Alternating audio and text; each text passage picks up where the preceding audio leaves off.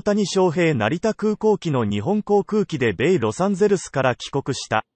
現在は昨週の右肘手術、今年9月に受けた左膝手術のリハビリ中で、1年ぶりの日本で英気を養う。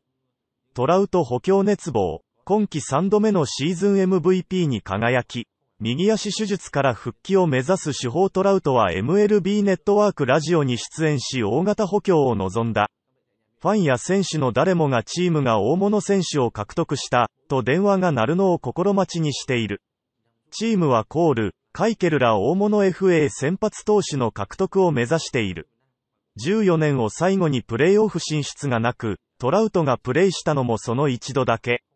力を合わせ、王や、プホルスらと何としてもプレーオフに進みたいと意欲を示した。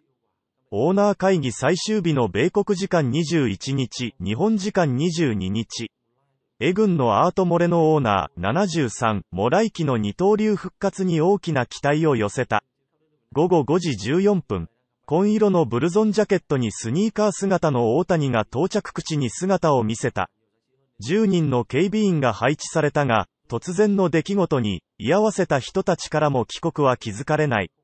右肘、左膝のリハビリも順調。軽い足取りで関係者出口から空港を後にした。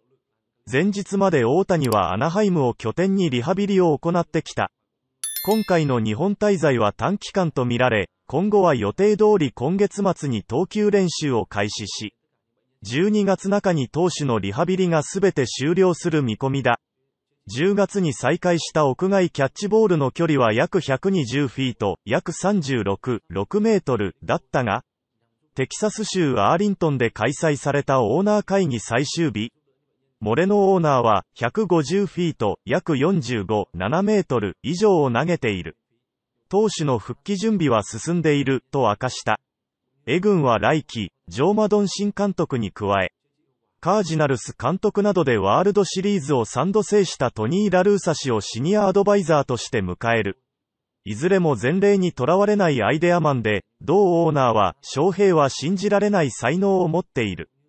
二人の知将が来てくれたことで翔平の二刀流の才能を最大限に引き出してくれるに違いない。二人で通算3980勝を誇るコンビに大谷を託す考えだ。今オフの移籍市場ではゴーアンコール、アストロズ FA を軸に先発投手を補強予定で、野球についてはジョーとトニーに任せている。私はビジネス面でチームを支えたい、と同オーナー。2年以来の世界一へ、そのためにも、二刀流、大谷の復活と進化は欠かせない。メジャー2年目を終えたエンゼルスの大谷翔平投手25が22日。